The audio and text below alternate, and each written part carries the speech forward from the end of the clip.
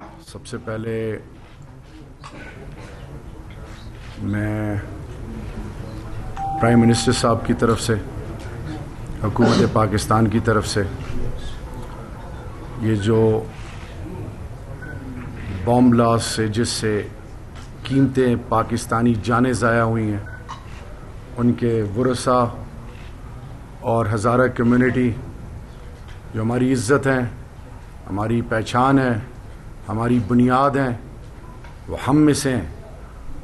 और वो बलोच भाई, वो पश्तून भाई और मेरी सिविल आर्म्ड फोर्सेस के वो जवान जो शहीद और ज़ख्मी हुए हैं, उन सब के गम में ना सिर्फ़ बराबर शरीक होने के लिए, बल्कि ये मैसेज देने के लिए कि हम आपके साथ हर मुश्किल और हर आजमाइश और हर खुशी में शाना बशाना खड़े हैं।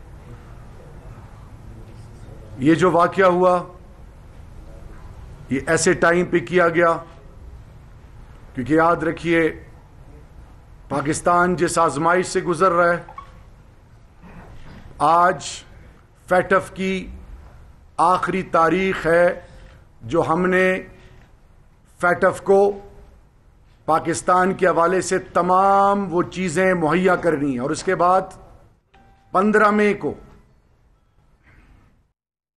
इस पर फैटफ जो भी फैसला करेगा। वो फैसला है क्या पाकिस्तानी कौम को और यहाँ पे वरसा और इस इमाम बारगाह में, खैर और बरकत की जगह में और उलमाई कराम, वारिसीन अम्बिया कराम बैठे हैं। अल्लाह और अल्लाह के महबूब और महबूब के आल के मानने वाले हैं। ये बात क्यों आपके साथ मैं कर रहा हूँ? क्योंकि दुश्मनान पाकिस्तान। वो ये चाहते हैं कि किसी तरीके से पाकिस्तान को ब्लैक लिस्ट में लाया जाए। पाकिस्तान को मुआशी तौर पे हर लेवल पर ऐसे नुकसान पहुँचाया जाए कि खुदा न खास्ता पाकिस्तान बिखर जाए। ये वो मजमूम अजायम है, क्योंकि 25 जुलाई सन 2018 से 9 महीने बाद इसकी कोई जस्टिफिकेशन नहीं है। ये नहीं होना चाहिए था। लाजवाल कुर्बानियाँ मेरी सिविल आर्म फोर्सेज अफाज पाकिस्तान और आम पाकिस्तानी दे रहे हैं। मेरे घर से तीन जनाजे निकले सवाल यह है कि फलसफा हुसैन जालिम के आगे खड़ा होना, मजलूम का साथ देना और शहादत तो हर मुसलमान के खून में रची बसी है। सवाल यह है कि क्यों हम ये नहीं सोचते कि कौन है ये? कौन इस मुल्क के अंदर इंतशार फैला रहा है? कौन सी वो कूते हैं जो पाकिस्तान को पाकिस्तान के अंदर पाकिस्तानियों से लड़ाना चाहते हैं? ये किस्सा तब से शुरू होता है, जब पहले जबान के नाम पे, फिर मज़हब के नाम पे, फिर मसलक के नाम पे, फिर इलाके के नाम पे, फिर जबान के नाम पे, पाकिस्तानियों को आपस में दस्ते गरेबान किया, लड़ाया गया गैर के एजेंडा पे। फिर इदारों को अवाम से लड़ाया गया। कभी फौज के खिलाफ, कभी इंटेलिजेंस एजेंसीज के खिलाफ। तो मेरा सवाल यह है, अल्लाह के घर में बैठ के मैं ये कह रहा हूँ, मेरा सवाल यह है पाकिस्तानी कौम से और वो तमाम कुतों से कि अगर पाकिस्तान जैसी फौज और इंटेलिजेंस एजेंसीज शाम के पास होती, इराक के पास होती लीबिया के पास होती। तो क्या उम्मत की बेटियाँ और उम्मत के बुज़ुर्ग वो मदरसे इमाम बारगाहें मस्जिदें, वो इंसानियत सोज मजालिम जो रंगविनिया में हो रहे हैं, जो अफ़गानिस्तान में हो रहे मेरे मुसलमान मुल्क में, जो ऑक्यूपाइड कश्मीर में हो रहे हैं। ये वही एजेंडा है। इस मुल्क को डिस्टेबलाइज करना, इस मुल्क को हर नज पर नुकसान पहुंचाना, लेकिन मेरा ईमान ये हम सबका। कि उन तमाम कुतों को इंशाला बेजन हम यकजहती से इतफाक से इतिहाद से और शेयर एक कमिटमेंट से कि अल्लाह और अल्लाह के महबूब के मानने वाले अतियो रसूल कभी भी इस मुल्क पर आँच नहीं आने देंगे। हम अपनी जाने कुर्बानी ज़रूर करेंगे क्योंकि ये फलसफा हुसैन है। अब बात यह है उलमाई कराम यहाँ पे हैं, वरसा यहाँ पे हैं। वफाक का क्या काम है? अव्वल लीडिंग रोल सूबाई हुकूमत, चीफ मिनिस्टर साहब से भी मैं उठकर, बुखारी साहब हम उठकर आ रहे हैं वहाँ से चीफ मिनिस्टर साहब सूबाई हुकूमत, पीछे वफाक की हुकूमत। मेरी तमाम सिविल आर्म फोर्सेस पाकिस्तान की तमाम की स्टेक होल्डर्स हम इंशाला बेजदिल्ला और वो लोग जो कहते हैं कि हजारा कम्युनिटी बेशक जुल्म अजीम हुआ है आपके साथ। माजी के लिए मैं भी गुनाह, अल्लाह से माफ़ी माँगता हूँ।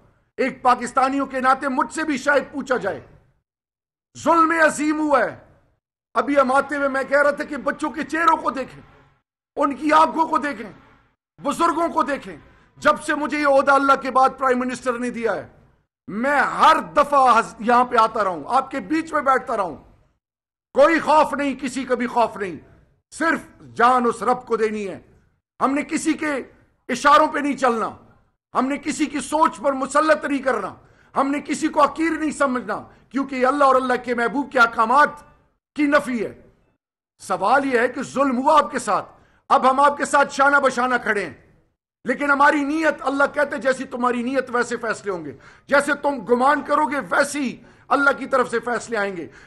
हम, मुझे अपनी औलाद की कसम है, मैंने जान अल्लाह को देनी है।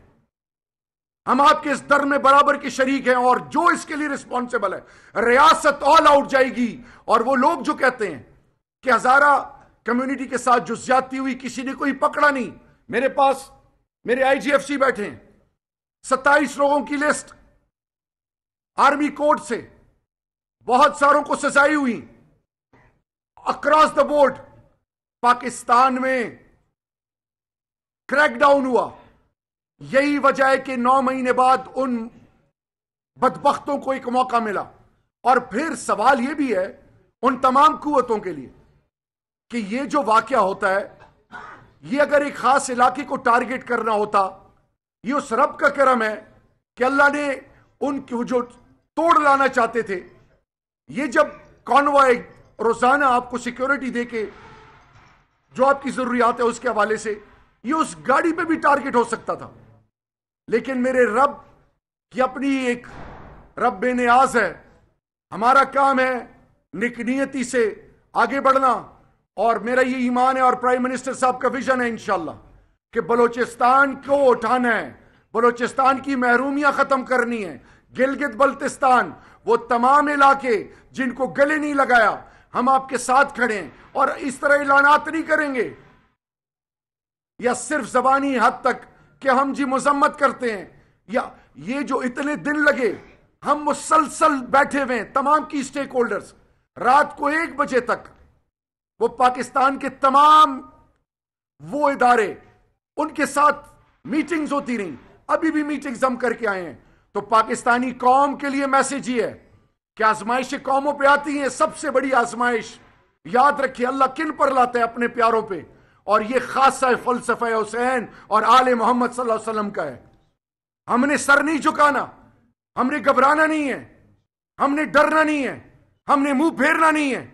हमने बेजल्ला उनका मुकाबला करने और मुकाबला कर रहे हैं अल्लाह के फ़सल से। लेकिन आपसे इस्तदा है कि हमारी नीयत पर कभी शक ना करें। इस्तदा ये है, मरना हम सबने है, लेकिन इस मुल्क को अमन का गवारा बनाएगी इंशाला वेस्टर्न बॉर्डर पे भी फेंसिंग स्टार्ट है। ईस्टर्न बॉर्डर, ये अफ़गानिस्तान के साथ और ईरान के साथ।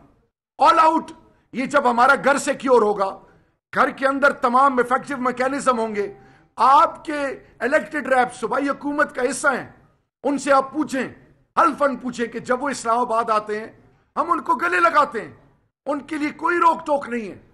मैसेज ये है कि सिर्फ़ हजारा कम्युनिटी की हद तक नहीं, मेरा बलोचिस्तान का एक एक बलोच मेरे बलोचिस्तान का एक एक पश्तून, मेरे बलोचिस्तान का कोई भी वासी हो, चाहे वो पंजाबी हो, चाहे वो किसी मज़हब, किसी सोच, किसी इलाके, किसी फ़िक्र, किसी भी इलाके का क्यों ना हो, रियासत उनको इज़्ज़त देगी।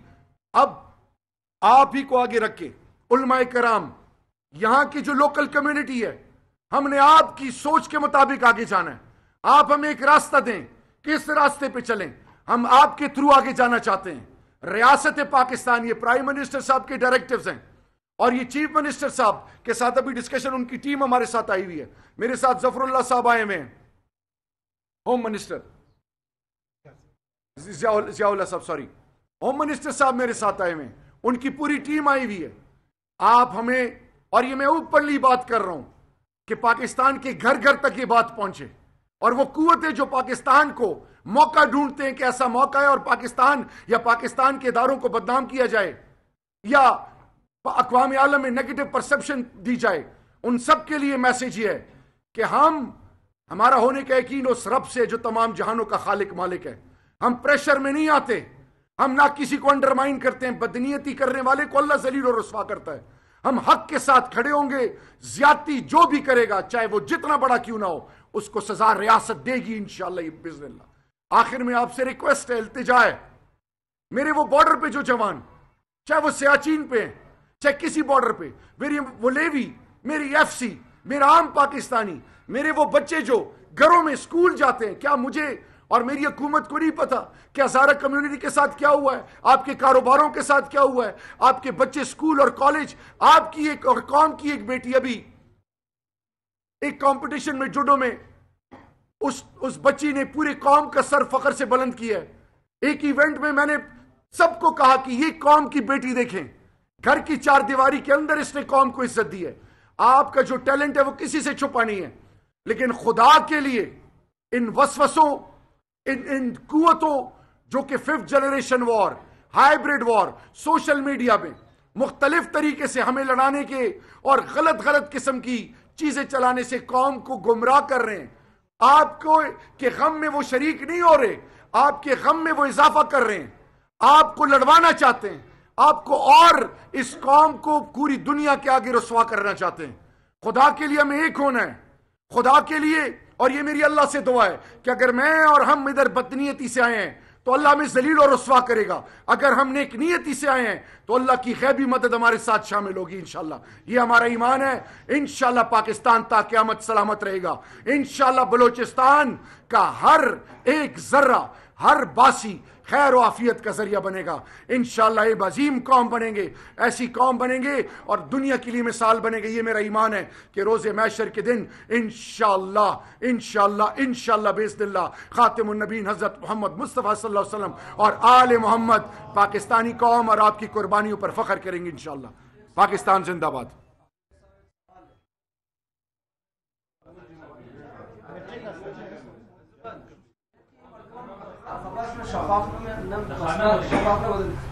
जनाब बात ये है आपके तशरीफावरी का। या हम इस गमगीन माहौल में आपको तो खुश आमदीद नहीं कह सकते लेकिन आपके तशरीफावरी का शुक्रिया।